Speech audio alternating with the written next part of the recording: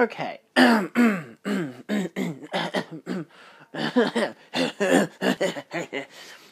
crazy people exist. So today we're going to be talking about two different types of steelbook for the Texas Chainsaw Massacre. This is my new one. This is my old one. Let's compare. So, firstly, of course, I'm going to be breaking down the Best Buy exclusive one. I've put this in a protector because I've had it for a while. Uh, I brief background about this film. Not in terms of the actual film, but for me watching it. I watched it the first time as a Tobe, Tobe Hooper respective, uh, retrospective, after he'd passed away. Because he had passed away, I think it was maybe a week or two after he'd passed away. It was like a September, October period of 2017. Okay, maybe a few months after he passed away, but I can't remember exactly when he did. The Astor Theatre in Melbourne was playing Texas Chainsaw Massacre in 35mm. And of course, my mate was like, hey, let's go to the Astor and watch it. I'd never been to the Astor before, and I hadn't got my first week's paycheck yet. It was meant to come in that night, but it hadn't. So I grabbed 16 bucks in coin to go watch it, uh, and I really dug it. Uh, in 35mm, it is breathtaking. It is just as grungy and terrifying as it needs to be. And it happened that my friend from high school happened to sit in the front in the row in front of me, so we got to uh, I got to eat that popcorn and then go home with them. It was great. So, good night. Then comes this. I bought this uh, maybe a year or two afterwards. This is the 4K remaster steelbook, the Best Buy edition. It unfortunately was not in the protector initially, so it does have a slightly, some minor scratches here and there on the front, nothing obvious or dramatic. Uh, nice artwork overall, very particularly designed. Uh, unfortunately, it suffers from what I like to call the clickety clack. This is actually a much better clickety clack in comparison. So it does come with a little slip and it has four commentaries. That's it. That's the whole film. Uh, it has cool in terms of inside artwork, and the disc artwork is the same as the outside. So, of course, you look at the outside artwork, you're like, hey, that's pretty nice. It's kind of iconographine and whatever. It's not terrible and all that jazz. It obviously has the state of Texas on it. You've got the Leatherface, you've got the girl from the end of the film, you've got the small cast of characters in the house. It's not bad. It's not a bad steelbook. But then my ear dropped out and I can't hear anything out of my left, right, something ear. Wow, that hurts. That in, uh, is a perfectly conditioned steelbook. Again, outside of a few minor line work on the front, it's fine. The other day I got this one, which I will be featuring in a later video, but I figured I'd just talk about it here as well. I may have featured it in, my, in a June video. I got the Texas Chainsaw, the Texas Chainsaw Massacre. Uh, this steelbook is the second sight release, which of course you look at it and you're like, it's kind of more, I'll be honest, better looking. And ultimately, I would argue it is the better of the two steelbooks. So of course you've got this great silhouette with just enough detail to show Leatherface in, in the most terrifying way possible. I'm trying to show it in a way you can kind of you can see enough detail about the character. Uh, and it's great. You've got the good artwork on the back, and then you realize it's a small little dent on the sun. There is there actually a dent on the sun, or why is it seeing something? No, it's not actually. No, it's, it's weird.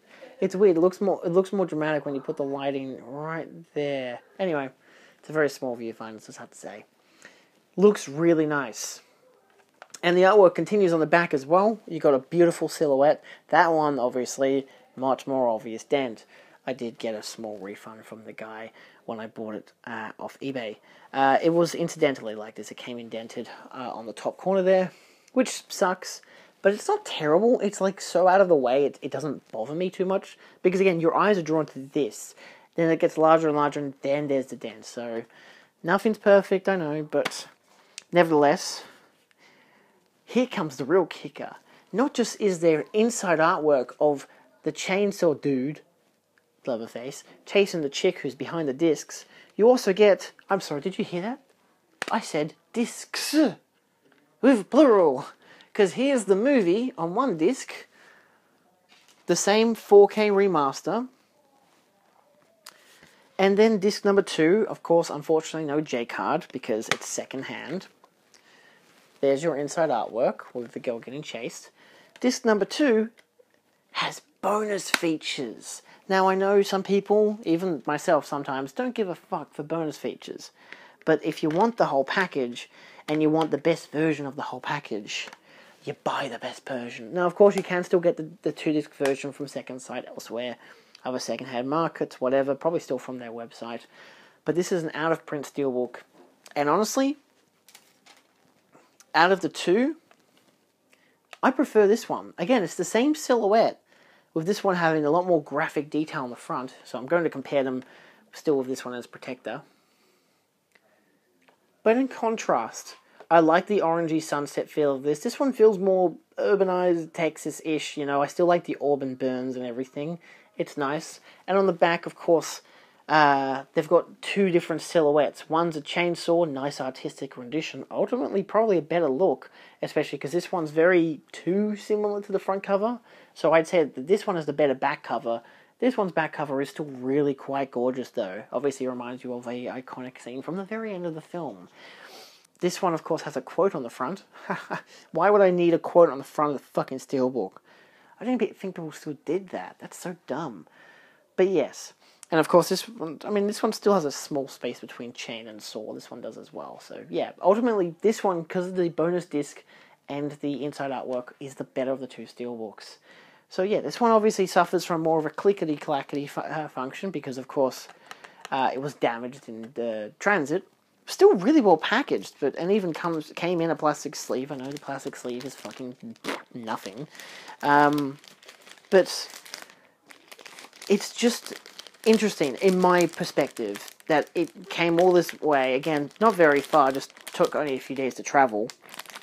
And it only cost me about 59 australian dollars uh, which isn't terrible. It's it's it's not a bad price. For the film again 4k remaster out of print steelbook was mint condition until it arrived damaged.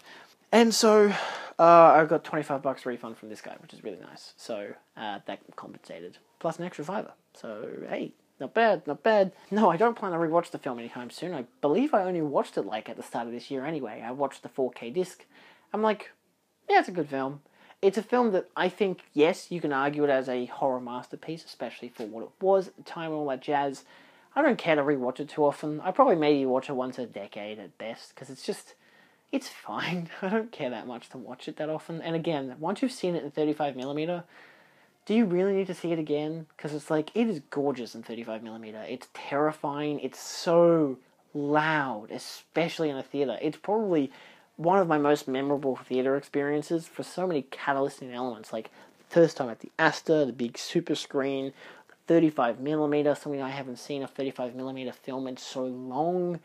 Um, my seen it with my new high school friend the not getting enough pay but still having enough money and coin to be able to you know, watch it, um, and having you know my friend from high school be in the front in front of me because it was free seats and they her her boyfriend and, and his mate from another state just came in in front of us. I was like, oh my god, it's you, and she was like, oh my god, it was just it was just great, and it was a great grueling and terrifying experience of a film, and I really dug it.